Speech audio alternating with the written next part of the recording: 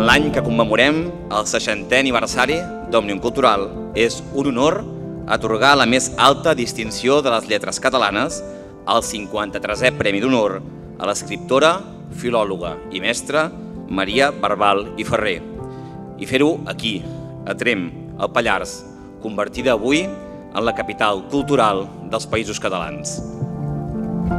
Jo encara formo part de la generació que no va ser escolaritzada en català ni tan sols el va aprendre com a llengua forastera, segona o tercera, i que va passar tots els cursos de la universitat amb aquesta salvatge absència. Tothom sap que el paper dels i de les mestres i professores en un país és molt important, com ho són els treballadors de la sanitat. Tots dos grups constitueixen els puntals de la societat.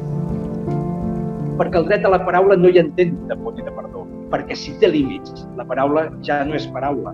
I precisament la literatura ens ho recorda, que no hi ha injustícia, presó o xantatge que pugui doblegar la voluntat de ser d'un poble.